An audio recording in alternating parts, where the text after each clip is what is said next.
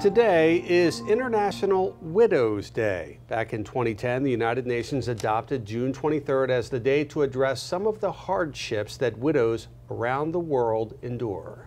But advocates aren't only talking about issues women on the other side of the world face.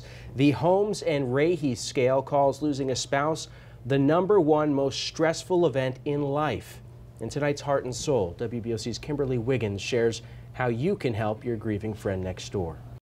John and I were together for like 26 years, and he was my soulmate. Debbie Brune lost the love of her life, John, two years ago when the Wicomico County Sheriff's deputy died after going into cardiac arrest. Keeping busy helped her start to heal. I put myself in counseling. I started a foundation for my husband. I went to lots of paint nights, and more than I, I have more paintings that I even know what to do with at this point. My faith was the most important part um, it, it gave me the strength to get through it. Brune stresses grief is a part of life. More need to learn the tools to survive it, not ignore it. Some people are very uh, cautious about reaching out to someone who's just lost someone because they don't know what to say.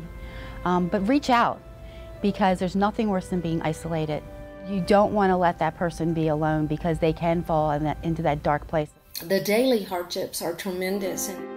Carolyn Moore's husband, Chad, was killed in a hit and run in Orlando in 2000.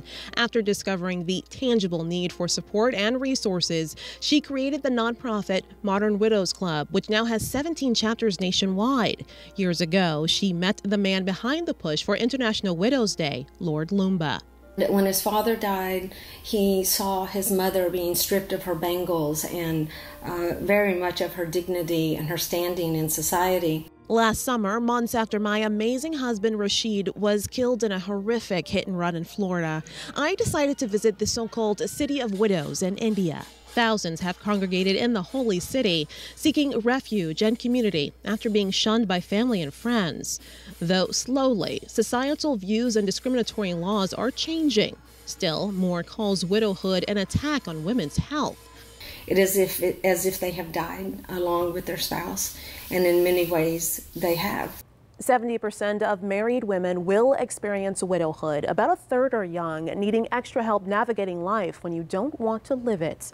What does the world look like when we, when these women gain uh, a community, uh, mentors, and resources? The loss of John has put me on a different path, but it's a positive path and I've tried to make it that way. For Heart and Soul, Kimberly Wiggins, WBOC News.